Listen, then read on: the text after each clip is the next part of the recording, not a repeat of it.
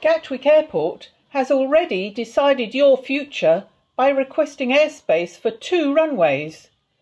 With the nearly 100,000 extra flights a year, on top of the 285,000 pre Covid, if you are overflown now, you can expect to see and hear a significant increase.